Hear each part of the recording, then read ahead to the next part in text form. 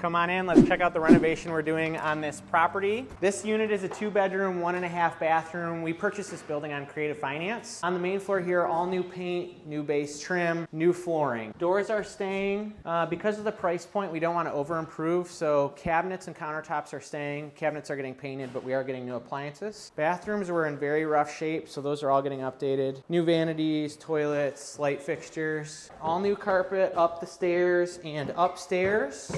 Bedrooms are just fresh paint and trim. Again, bathrooms were a little rough, so we'll have new vanities in here, new toilet, and then new shower surrounds.